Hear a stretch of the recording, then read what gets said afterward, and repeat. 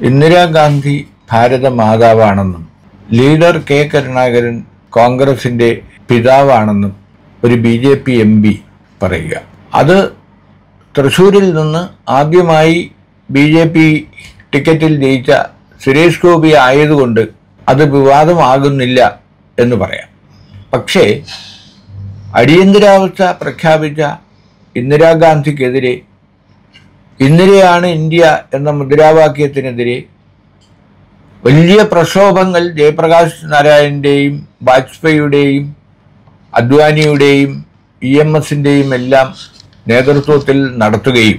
അതിന്റെ പേരിൽ വാജ്പേയി അടക്കം ഒ രാജഗോപാൽ വരെയുള്ള നേതാക്കൾ ജനസംഘ നേതാക്കൾ എല്ലാം തന്നെ രണ്ട് കൊല്ലത്തോളം ജയിലിൽ കിടക്കുകയും ചെയ്ത അടിയന്തരാവസ്ഥക്കാലം. അപ്പോൾ ആ അടിയന്തരാവസ്ഥ പ്രഖ്യാപിച്ച ഇന്ദിരാഗാന്ധിയെ ഭാരതത്തിന്റെ മാതാവ് എന്നൊരു B J P M P വിശേഷിപ്പിക്കുന്നത് രാഷ്ട്രീയമായി നിരക്കുന്ന ഒന്നല്ല.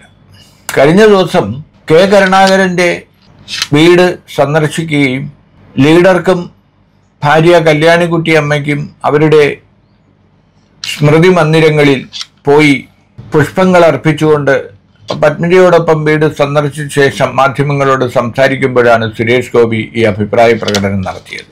അപ്പോൾ അടിയന്തരാവസ്ഥയുടെ ഇരകളോ അതിനെതിരെ സമരം ചെയ്തവരോ ആണ് ഇന്ന് രാജ്യം ഭരിക്കുന്നതും കേരളം ഭരിക്കുന്നതും. അപ്പോൾ അടിയന്തരാവസ്ഥയാണ് യഥാർത്ഥത്തിൽ കേരളത്തിലെ അതുവരെ നിലനിന്നിരുന്ന രാഷ്ട്രീയ ബന്ധങ്ങളിലും ഭരണ മാറ്റങ്ങൾക്കും എല്ലാം തന്നെ വഴിവെച്ചത്.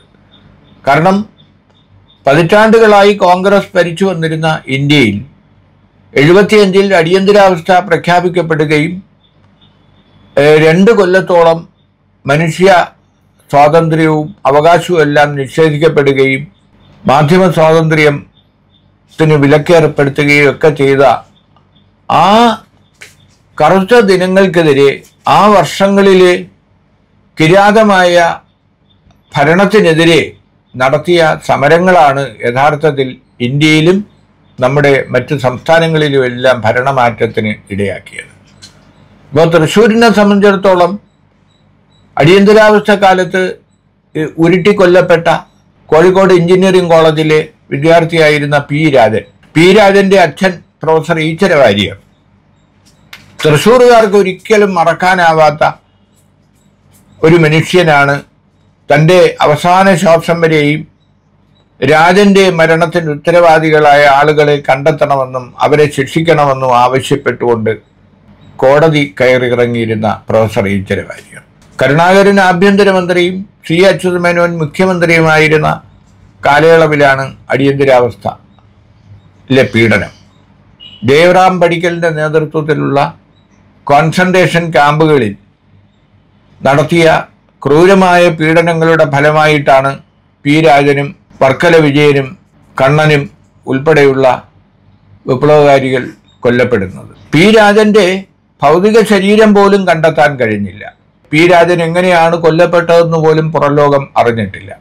നക്സലൈറ്റ് നേതാവ് വർഗീസിനെ വെടിവെച്ച് കൊന്നതാണെന്നും താനാണ് വെടിവെച്ചതെന്നും ഐ ജി ലക്ഷ്മണയുടെ ഉത്തരവനുസരിച്ചാണ് താൻ വെടിവെച്ചതെന്നും പോലീസ് കോൺസ്റ്റബിളായ രാമേന്ദ്രൻ നായർ നാൽപ്പത് കൊല്ലത്തിന് ശേഷം വെളിപ്പെടുത്തിയപ്പോഴാണ് വർഗീസിന്റെ മരണം പുറത്തു വന്നത്.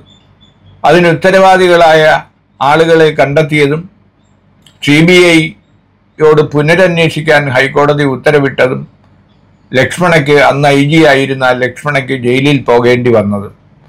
പക്ഷേ അതുപോലെ ഒരു വെളിപ്പെടുത്തൽ ഇന്ന് വരെ രാജൻ കേസിൽ ഉണ്ടായിട്ടില്ല. അപ്പോൾ രാജന്റെ ആത്മാവും ഈശ്വരവാര്യരുടെ ആത്മാവുമെല്ലാം തങ്ങി നിൽക്കുന്ന തങ്ങി നിൽക്കുന്ന തൃശ്ശൂരിൽ അവിടെ തിരഞ്ഞെടുക്കപ്പെട്ട ഒരു എം പി അതും ബി ജെ പിയുടെ എം പി അതും നടനാകട്ടെ ആരുമായിക്കൊള്ളട്ടെ ഇന്ദിരാഗാന്ധിയുടെ ഭരണകാലത്തെയും അവർ ഭാരതത്തിന്റെ മാതാവാണെന്നും കരുണാകരൻ കോൺഗ്രസിന്റെ പിതാവാണെന്നും ഒക്കെ വിശേഷിപ്പിക്കുന്നത് അതിനെക്കുറിച്ച് മോദിക്കും അതുപോലെ അമിത്ഷായ്ക്കും എന്താണ് പറയാനുള്ളത്? കാരണം ബി ജെ പിയുടെ ഔദ്യോഗികമായ ഒരു ഭാഷ്യമാണോ ഇന്ദിരാഗാന്ധിയെയും കരുണാകരനെയും കുറിച്ചുള്ള സുരേഷ് ഗോപിയുടെ അഭിപ്രായ പ്രകടനം എന്ന് അവർ വ്യക്തമാക്കേണ്ടതുണ്ട്.